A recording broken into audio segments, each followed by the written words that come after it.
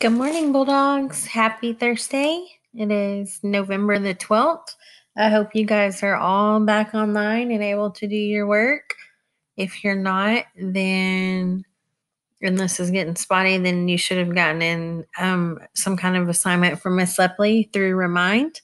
But you have two on here. So if you're watching the video, we're going to do one video for each.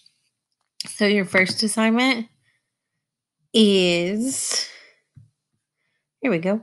Fly our flag for Veterans Day. It's a reading passage. It's supposed to be done yesterday, but since the internet was messed up, we did not get to. So I'm going to pull up the passage first. It's short. And then it has a few questions to answer afterwards. So let me zoom in.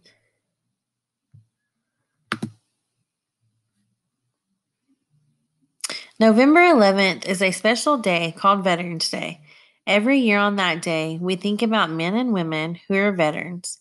Veterans are people who have served in the U.S. Army, Navy, Air Force, Marine Corps, and Coast Guard. Veterans work to help our country in many ways. Some worked on ships to keep our oceans and coasts safe.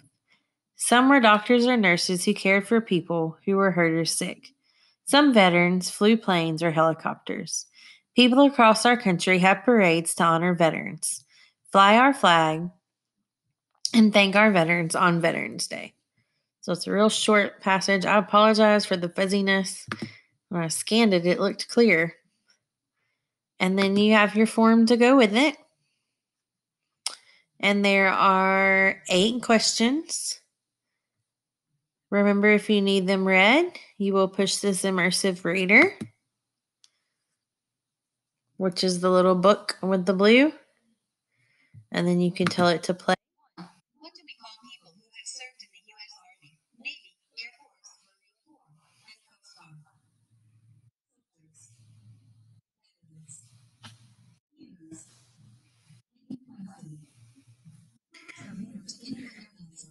To close the reader, you go back right here, and then you can pick which one. When you get finished down at the end, through number eight, you will hit submit and turn it in. Again, this is a short reading passage with eight questions. When you finish, submit and turn it in.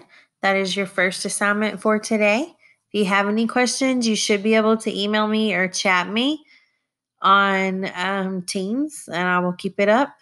If you need um, anything else, then try the email instead of the chat. Have a good day.